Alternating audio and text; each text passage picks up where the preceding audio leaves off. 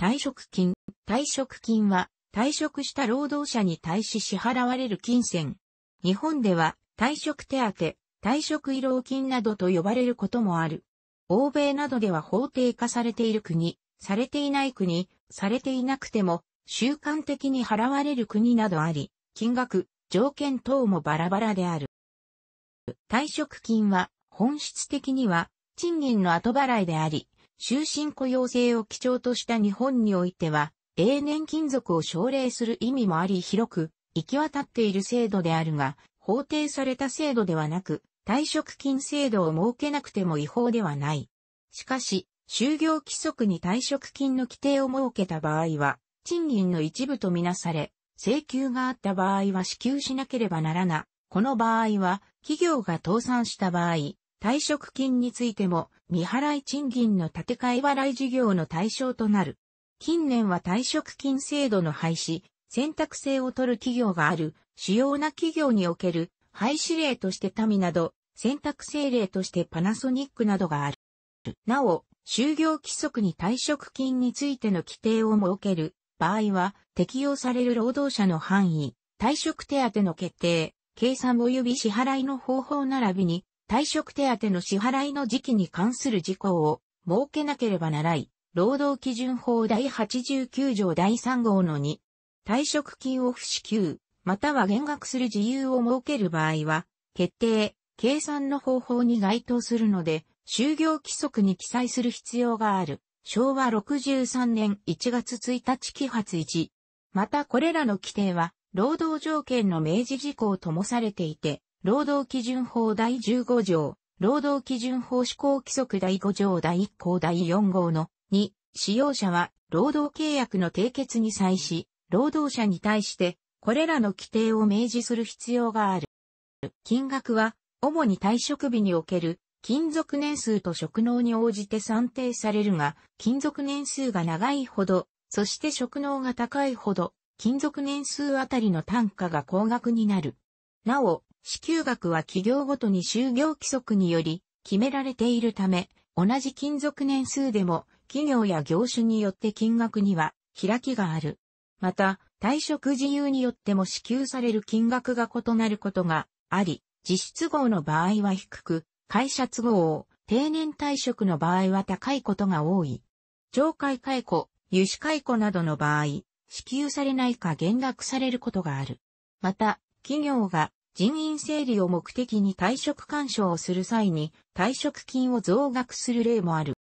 大企業であれば退職金の原資は企業が自ら負担するが、中小企業では中小企業退職金共済に代表される勤労者、退職金共済機構等の機関に掛け金を納付し、機関から退職金が支給されるのが一般的である。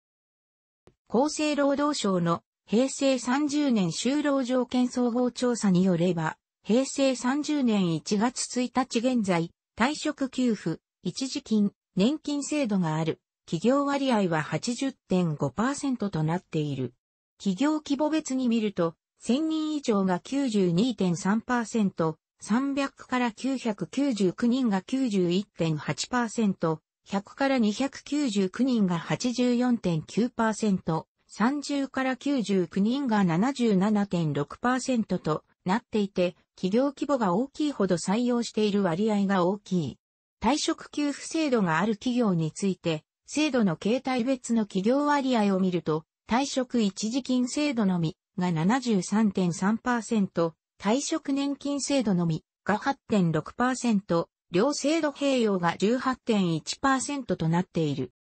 退職一時金制度がある企業について、支払い準備形態、複数回答別の企業割合を見ると、社内準備が57.0%、中小企業退職金共済制度が44.0%、特定退職金共済制度が11.5%となっている。退職年金制度がある企業について、支払い準備形態、複数回答別の企業割合を見ると、厚生年金基金、上乗せ給付が20.0%、確定給付企業年金、CBP を含むが43.3%、確定拠出年金、企業型が47.6%となっている。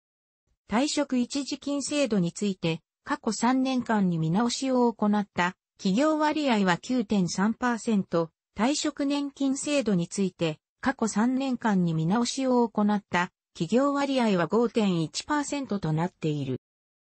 退職給付、一時金、年金制度がある企業について、平成29年1年間における、勤続20年以上かつ45歳以上の退職者がいた企業割合は26.6%となっている。退職給付、一時金、年金制度がある、勤続20年以上かつ45歳以上の退職者がいた企業について、退職自由別の退職者割合を見ると、定年が64.3%、定年以外では、会社都合が5.4%、自己都合が22.8%、早期優遇が7.5%となっている。勤続20年以上かつ45歳以上の退職者に対し支給したまたは、支給額が定めした退職者1人、平均退職給付額を退職自由別に見ると、どの学歴においても、早期優遇が最も高く、自己都合が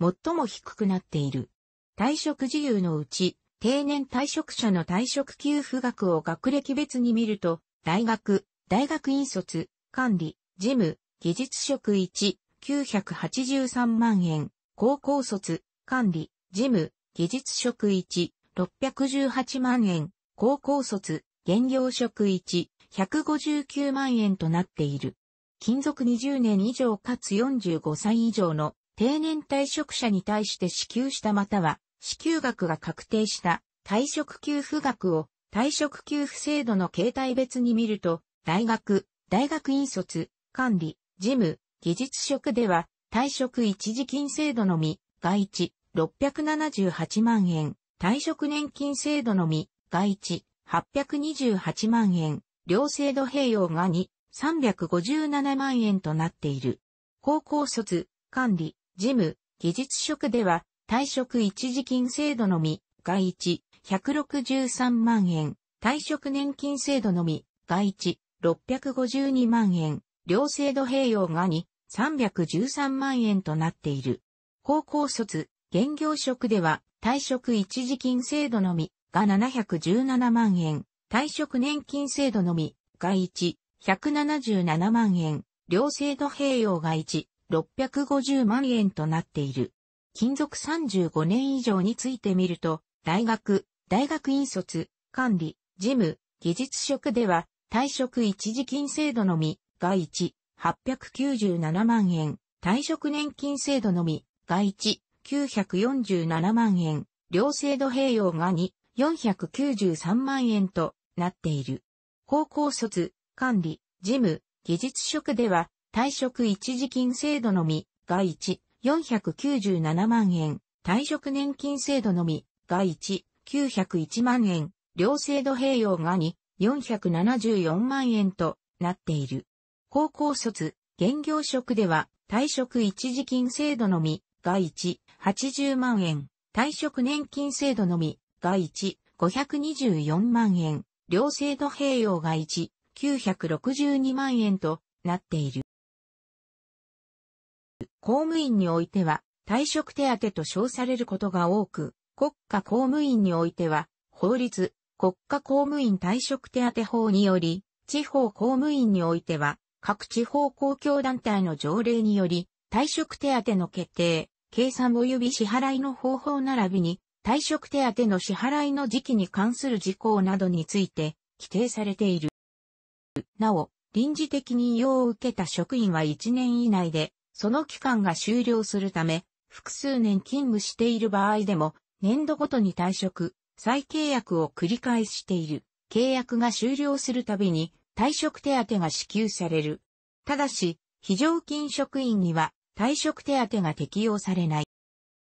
一定の退職金は退職所得として所得税と住民税が課せられる。ただし、勤続年数に応じた控除があり、税率も通常の給与よりも低い率になっている。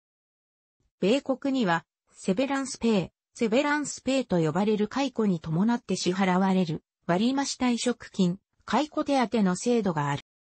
セベランスペイの中身は雇用契約や別個の契約で定められていることが多く、会社都合による解雇や雇用者の障害、死亡の場合には、セベランスペイの対象となることがある。自己都合退職や懲戒解雇の場合には、セベランスペイの対象とならない。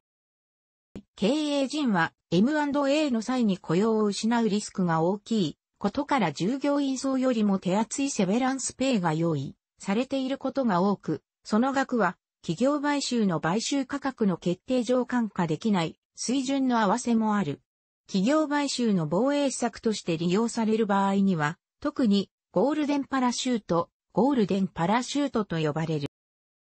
楽しくご覧になりましたら、購読と良いです。クリックしてください。